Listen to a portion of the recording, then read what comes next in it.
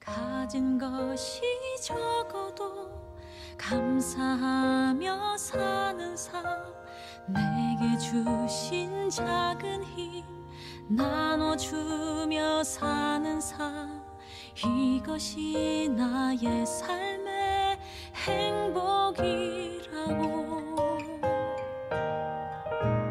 눈물 날 일 많지만 기도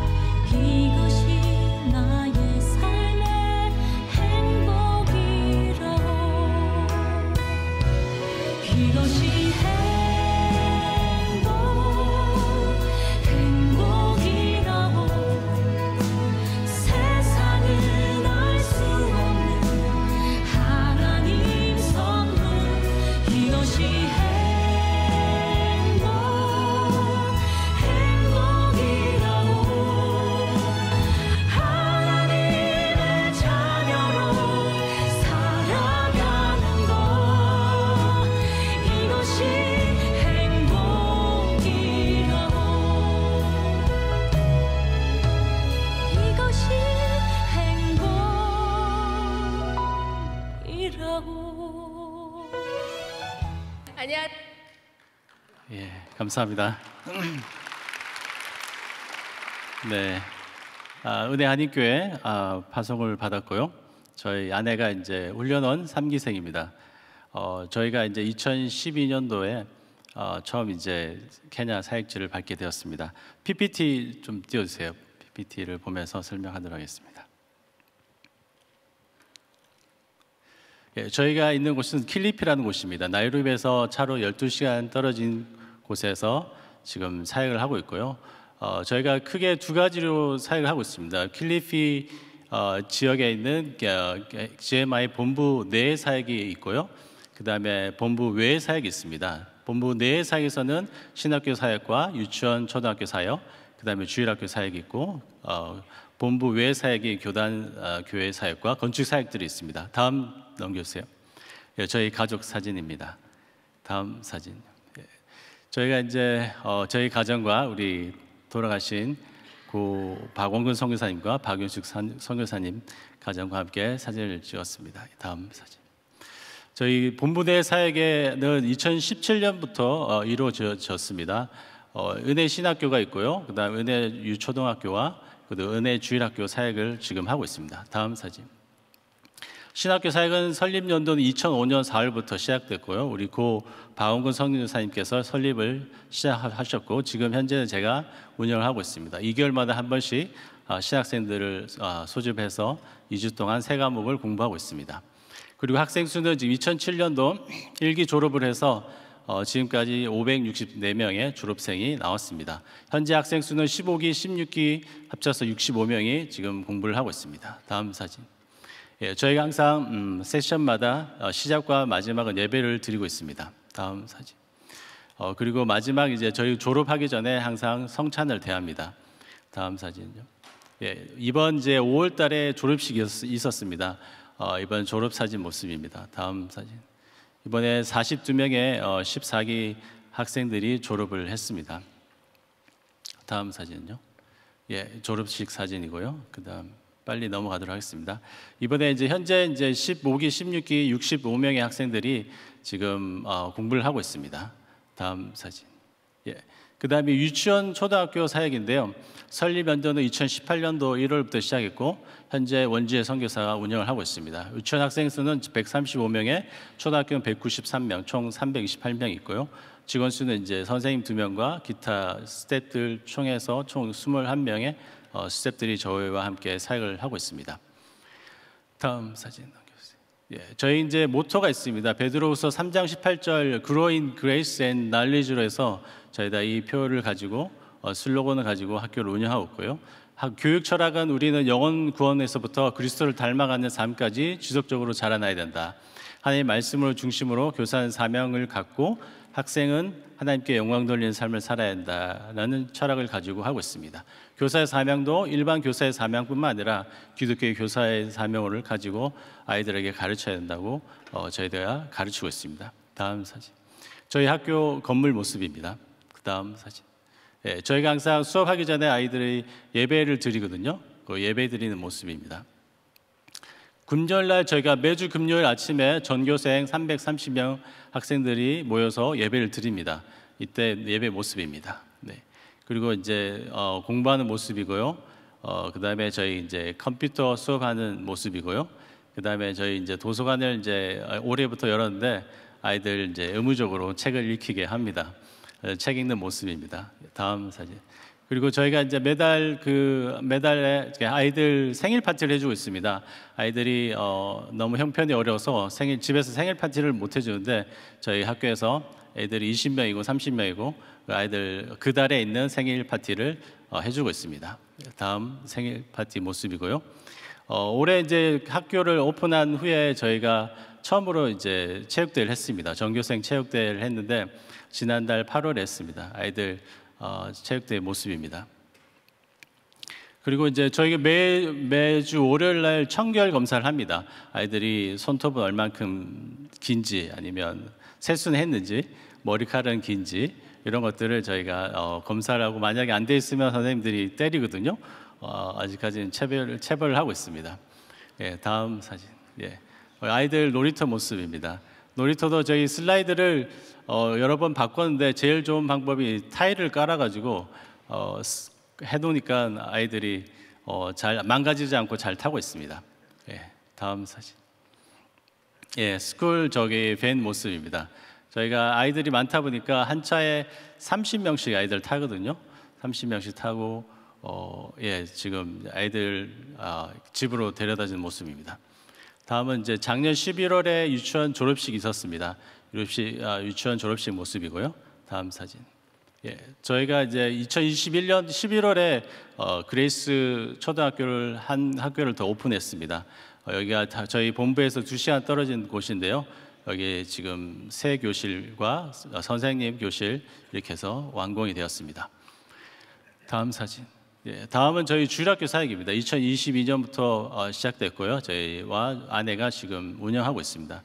아, 인원은 한 70명 정도 아이들 예배를 드리지 못한 학생들 위해서 지금 예배를 드리고 있습니다. 다음 사진. 예, 아이들 모습이고요. 예배드린 모습입니다. 예, 다음 사진. 다음에 쭉 넘겨주세요.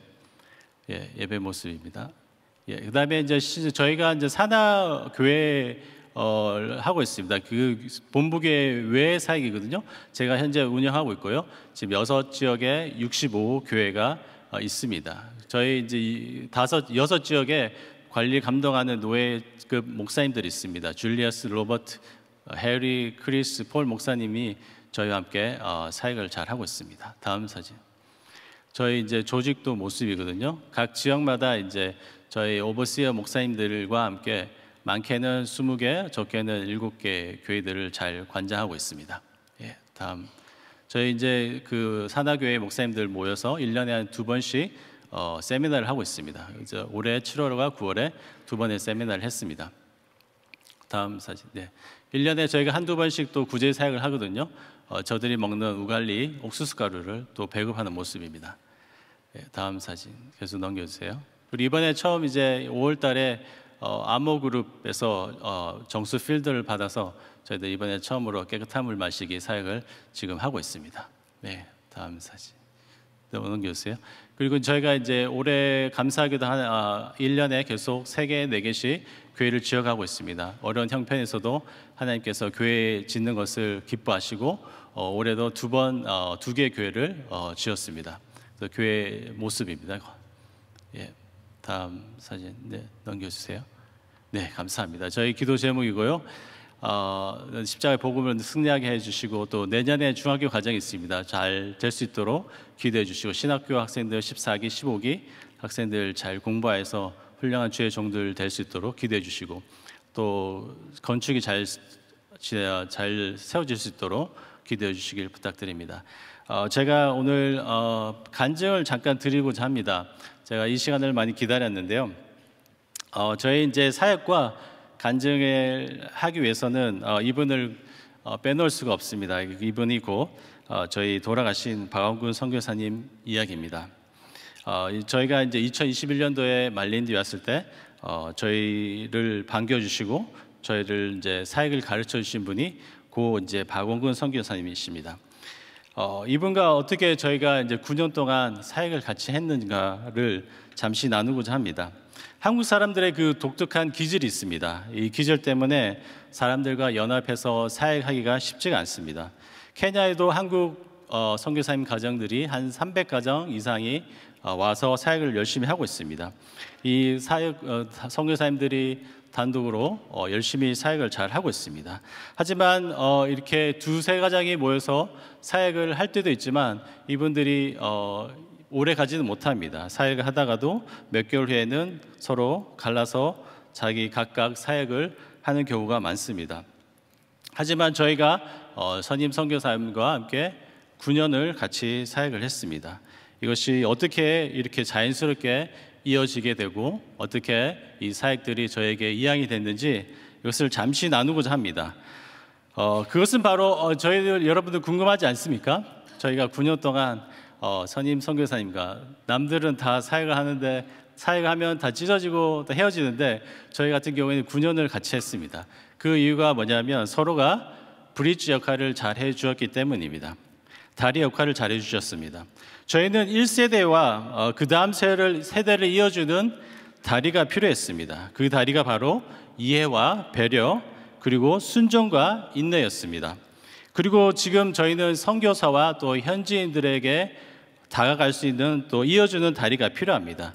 이것은 아직 시작도 하지 못했습니다. 이것이 바로 사랑과 용서입니다. 첫 번째 이해와 배려 이것은 1세대가 갖춰야 할 요소입니다.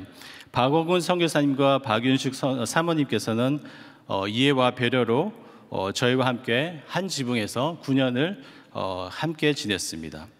박원근 선교사님께서는 말린디에서 13년 동안 어, 그 compound를 렌트해서 어, 사역을 하셨습니다. 그리고 저희가 왔을 때 다음 세대는 어, 셋방살이를 할 수 없, 어, 물려줄 수 없다 하면서 어, 땅을 2에이커를 사시고 저희가 왔을 때쯤 이제 건물을 짓기 시작하고 2017년도에 저희가 이제 이주를 하게 됩니다. 이사를 하고 나서도 박원근 선교사님께서는 저에게 어, 우리 아이들이 이제 식구가 많으니까 어, 식구가 많고 앞으로 계속 사회갈 사람이라면서 큰 집을 내어 주셨습니다. 그리고 어, 저희가 이제 차가 다 돼서 차량을 구입할 때도 황성교 황성교사가 타야 할 차니까 좋고 튼튼한 차를 사야 한다면서 어, 항상 저희들을 배려해 주시고 저희들을 생각해 주셨습니다. 자식 같은 저, 저지만 항상 저희들에게 존댓말을 써주시고 또 손 아래의 사람이지만 항상 저희, 저희들을 동역자로 생각해 주시고 대해 주셨습니다. 어, 이럴 때마다 저희는 늘 그런 어, 박원근 성 돌아가신 박원근 성교사님을 늘 감사하는 마음을 가지고 지금도 사역을 하고 있습니다. 두 번째는 어, 그 다음 세대가 가져, 가져야 할 요소인데요. 그것이 바로 순종과 인내입니다.